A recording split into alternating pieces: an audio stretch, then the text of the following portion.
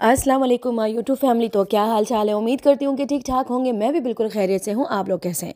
तो चलिए जी, एक ज़बरदस्त रिएक्शन रिव्यू के साथ हम लेकर आए हैं। सबसे पहले तो मैं यहाँ पे जितनी भी मेरी बहनें जो सितारा यासीन से मिलने के लिए गई हैं, जैसे कि समरीन सिस्टर हो गई, शाइस्ता आंटी हो गई, जिनको हम जानते हैं, जो हमारे कनेक्शन में हैं कराची से तो उनके लिए मैं बहुत बहुत मुबारकबाद देना चाहूँगी। वो वहाँ मिली हैं और इतना ज़्यादा क्राउड है वहाँ पर माशा से इतने लोग आए माशा माशा इतने लोग आए ना, मेरे पास वीडियो क्लिप्स आई या हद से ज़्यादा उस जगह पे बिल्कुल जहाँ पे लोग मिल रहे हैं सारे मतलब खड़े होने की भी जगह नहीं है, इतना ज़्यादा क्राउड है वहाँ पे, बच्चे भी बहुत ज़्यादा हैं, और भी बहुत सारे लोग हैं, काफ़ी सारे लोग हैं वहाँ पर लेकिन सबसे ज़्यादा जो मुझे खुशी हो रही है ना, वो शाइस्ता आंटी के लिए हो रही है, और इन्होंने वहाँ पर जाके उससे मिली है, मैंने वो क्लिप्स देखे और मुझे दिली ख्वाहिश थी कि शाइस्ता आंटी जाएँ और सितारा से मिले, और उन्होंने जो है उनको गोल्ड का जो है कॉइन गिफ्ट दिया है, और इन वो फ़ोटो भी मैं आप लोगों के साथ शेयर करूँगी, लेकिन अभी नहीं, क्योंकि ये सितारा रिवील करेगी, उसके बाद ही फिर मैं कुछ आप लोगों को दिखा पाऊँगी।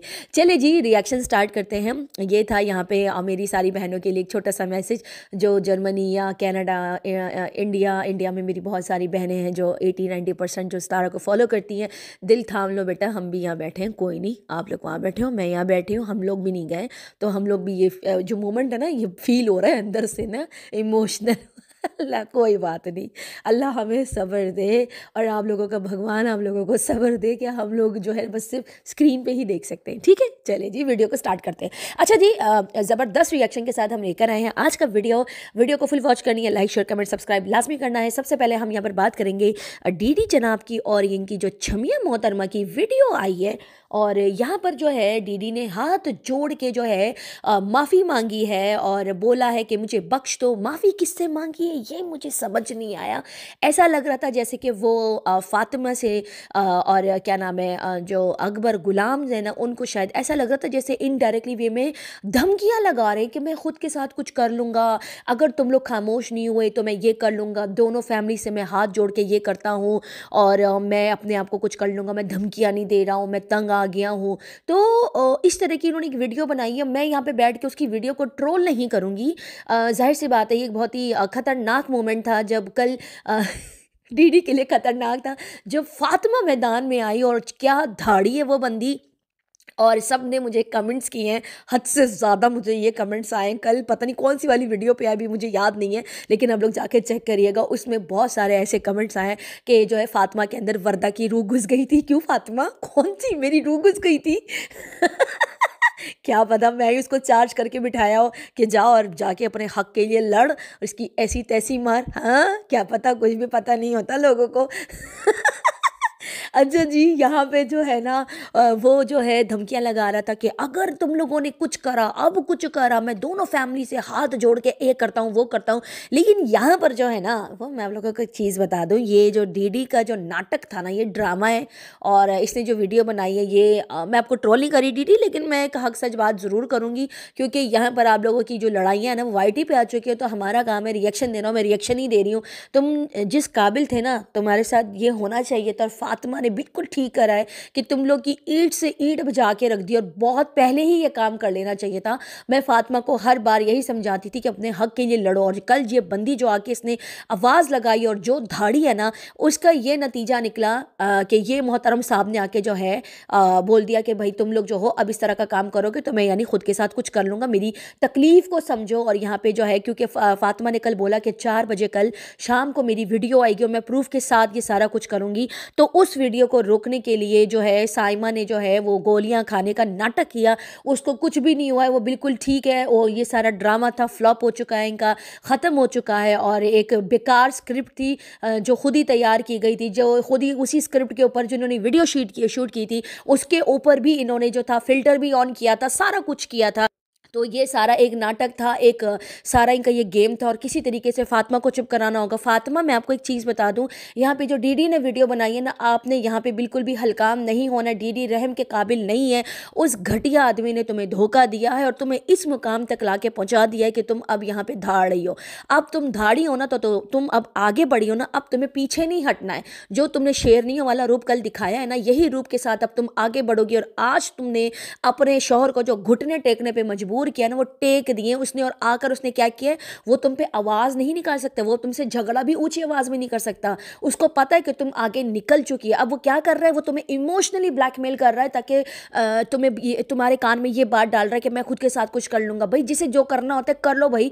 गुना भी खुद किया है, शादी भी इसने खुद करी है, बच्चियों का घर भी इसने बर्बाद किया। कहते हैं, मेरे घर में अपने घर बर्बाद नहीं होने दूँगा, मेरे बच्चों को बर्बाद नहीं होने दूँगा। वैसे एक बात तो तुम मुझे बताओ, तुम तो बड़ा चीख थे संडे वाले दिन जाऊँगा नवा कोट और अली को उठा के लेकर आऊँगा, मैं ये कर दूँगा, वो कर दूँगा, एक कर दूँगा। इतना ज़्यादा तुमने धमकियाँ लगाई थी। आज मेरे ख्याल में ट्यूसडे है। कहाँ है वो? तुम्हारी वो धमकी काम नहीं करी? मतलब मंडे संडे वाले दिन तो तुम जा रहे थे आयशा के पास उस बच्चे को छीनने के लिए। अब तुम लेकर नहीं आओगे उस बच्चे को? कहाँ गई तुम्हारी वो धमकियाँ? किधर गई? तुम्हारी जो तुम आके पटाखा फोड़ते हो फुसकी बम बन जाता है। कहाँ गया तुम्हारा वो सारा जो रोब रुबाब था, जो तुम इतना ज़्यादा धाड़ देते ये कर लूँगा, वो कर लूँगा, कुछ भी नहीं कर सकते। तुम एक हारे हुए इंसान और तू तो वो तो हम लोग सबने देख ली है कि तुम कैसे ही यहाँ पर औरतों के आगे जो है औरतों के हाथों जलील हो रहे हो, औरतों के हाथों जलील हो रहे और इन वो दिन भी दूर नहीं है कि तुम जो छमियाँ तुम्हें जलील कर रही होगी। आई बात समझ में, ये ब्लैक मेलिंग करना बंद कर दो, तुम लोग का पूरा ख़ानदान, कभी वो तुम्हारी बहन आके नाटक करती है, कभी तुम करते हो परसों तुम्हारी, कल जो है तुम्हारी साली ने ये नाटक किया, तुम लोग का और कोई काम नहीं है, बस वाई टी पे आके तमाशा करो व्यूज़ व्यूज़ खेलो डॉलर डॉलर खेलो। फातिमा ने तुम लोग, तुम लोगों की कल ईट से ईट बजा दी तो तुम लोग की हवाइयाँ निकल गई। वाह जीवा और तुम्हारे बाप का क्या कसूर था तुम्हारे बाप को उस लड़की ने फातिमा के साथ जोड़ा था। समझ आई? तुम्हारे बाप को वो माँ बहन की गालियाँ दे रही थी, उसकी बेटी को गालियाँ दे रही थी, उसके बच्चों को गालियाँ दे रही थी, उसके बहू को गालियाँ दे रही थी। बेगैरत इंसान, वो तो आके ज़ाहिर सी बात है, वो तो बोलेगा ना। औरत यहाँ पे औरत कार्ड खेल सकती है। मर्द अगर कोई कुछ बोल दे तो फ़ौरन से औरत कार्ड स्टार्ट हो जाता है। वुमेन कार्ड शुरू हो जाता है। क्यों? तुम्हारी साली की गलती है। तुम उसकी चोटी पर करते लेकिन तुमने क्या किया? तुमने आकर इधर जो है अपने बाप के साथ रिश्ता खत्म कर दिया। मुझे अपने बाप के साथ रिश्ता नहीं रखना। बेगैरत इंसान अपने बाप के लिए स्टैंड लेते। जो पहल करता है, गलती उसकी होती है। तुम्हारी साली की गलती थी। आई बात समझ में? और ये जो नाटक किया ना कल तुम लोगों ने, ये जो खुदकुशी का और ये सारा कुछ जो किया, ये सब ये एक नाटक है और कुछ भी नहीं है, कुछ भी नहीं है। साइमा ने कोई गोलियाँ वोलियाँ नहीं खाई, ये सब एक झूठ था, एक झूठ पे मबनी स्टोरी थी। उसके बाद जो है डीडी साहब ने जो है व्हाट्सअप पे मुझे एक स्क्रीनशॉट आया, एक सब्सक्राइबर शायद इनके साथ ऐड है, वो नाम मैं नहीं बताऊँगी यहाँ पे। उनका एक स्क्रीनशॉट मेरे पास है इन्होंने व्हाट्सअप के अंदर जो है स्टेटस लगाया स्टोरी कि भाई मैं हॉस्पिटल में हूँ। भाई जब आपकी इतनी हालत ख़राब है, आप स्टोरी क्यों लगा रहे हो? मुझे ये समझ में नहीं आ रहा। आपकी जब हालत इतनी ख़राब हो रही और आपकी जो छमिया मोहतरमा, ज़रा मैं उसके ऊपर भी बाद में आती हूँ। उसने भी फिर बाद में वीडियो बनाई, उसने भी यही बकवास करी है कि भाई हम हॉस्पिटल में थे, हमें तो अल्लाह जानता है कि हमारे ऊपर क्या गुजरे भाई जब तुम लोग मरने वाले होते हो या तुम लोग की हालतें ख़राब होती है तो तुम लोग स्टोरी कैसे लगा लेते हो? तुम लोग इंस्टा पे कैसे शेयर कर देते हो? तुम लोग व्हाट्सअप पे कैसे लगा लेते हो? मुझे वो आई है स्क्रीन इसका और ये उसने स्टोरी लगाई है इंस्टा पे उस पर व्हाट्सअप पे लगाई है। वो स्क्रीन शॉट मैं यहाँ पे शेयर कर दूँगी आप लोगों के साथ। वहाँ पे इन जनाब ने वहाँ पे ये किया है और दोबारा से जो है नाटक किया इसने भी नाटक किया कि मैं हॉस्पिटल में था, कोई हॉस्पिटल में नहीं था। रात बाथरूम में बैठ के इसने जो है वीडियो शूट करी है। एंड का जो इसने रिएक्शन डाला है, ये सारा कुछ आपकी वजह से हुआ है। सारा कुछ डी आपकी वजह से हुआ है। ये आपकी कारस्तानी है। किसने कहा था कि तुम जाके शादी करो? किसने कहा था कि तुम जाके निकाह करो। तुम्हें क्या लगता है? तुम्हें क्या लग रहा था कि ये इतना आसान है कि तुम किसी को, किसी की ज़िंदगी बर्बाद करके जो है तुम आगे निकल जाओ, शादी कर लो? हैं?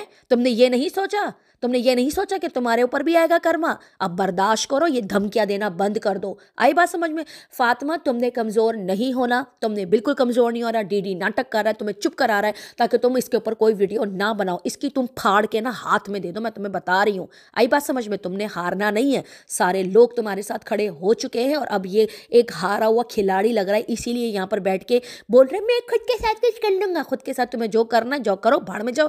तुम्हें जो भी करना है, करते रहो। हमारी भला से यहाँ पर आकर हमें धमकियाँ मत दो। जब शादी कर रहे थे, क्या हमें बता कर किए तुमने? जो तुम यहाँ पर आकर बकवास कर रहे हो, कि हमें, मेरे पर बात मत करो, हाथ जोड़ के माफ़ी मांग तो माफ़ी जाके ना।